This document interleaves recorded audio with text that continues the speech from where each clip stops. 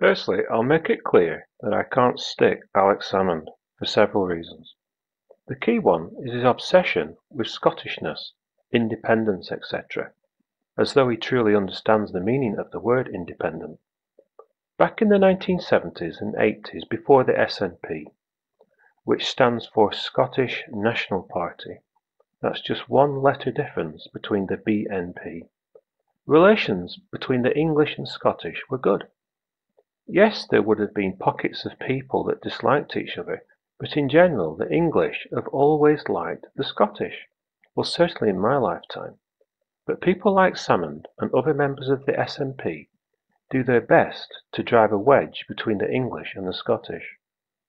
The moral fibre of the man was proved when he thought up the idea of seeking crowd-funding money for his legal defence, and then to actually have the nerve to go ahead and apply for it.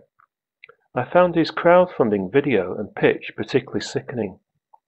Yes, I'm not aware that he broke any law in applying for crowdfunding, but for me and many others it sums up the man.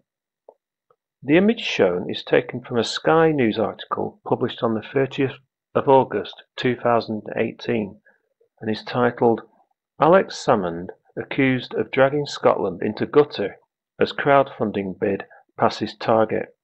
I couldn't have said it better myself.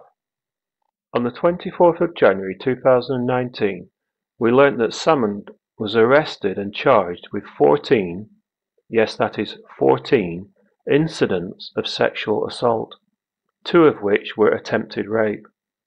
Naturally he stated he is innocent, but we'll see and time will tell. I wonder if such media attention will realise even more charges. When questioned about the multiple uh, 14 allegations, he stated that he is, I quote, innocent of any criminality, unquote. What a strange way to phrase it. People typically say that they are innocent of all charges, but he didn't say that. I'll say it again.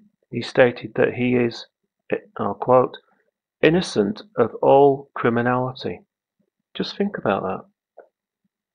I took note of the following text in the Sunday Times article, which states, Crown Office officials issued a contempt warning to social media users speculating about Mr. Salmond's case, warning that those who fell foul of court rules could face two years imprisonment. So much for free speech in the United Kingdom. I noticed that Salmond also stated, quote, I have the utmost trust in Scottish courts to deliver justice. Unquote. He didn't say English courts or United Kingdom courts, but specifically the Scottish courts. For me, again this sums up the man.